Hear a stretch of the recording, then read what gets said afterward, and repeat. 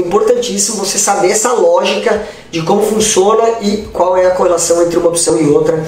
Quando eu falo de leitura de fluxo nas opções, é diferente do cara falar, vou fazer leitura de fluxo de dólar. E aquilo lá, o cara vai fazer a leitura do, do, do dólar, por exemplo, ele só tem o dólar para fazer essa leitura de fluxo, tá?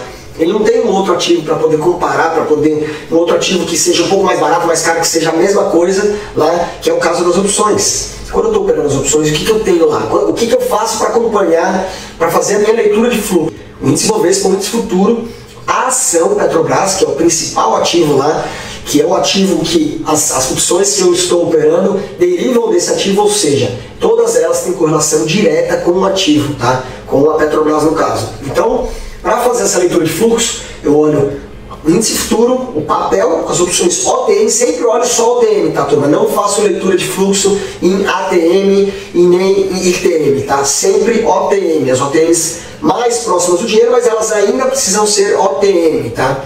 Para você poder fazer essa leitura mais apurada. Mas você precisa saber que essas opções, todas elas, independente do strike dela de exercício, todas elas vão andar proporcionalmente ao movimento do papel. Ou seja, se o papel subir 50 centavos, uma opção que o delta é 10 vai subir 10 centavos, uma opção que o delta é 5 vai subir 5 centavos, ou seja, elas vão andar juntas. Então por isso eu falo da correlação das opções, que é muito importante.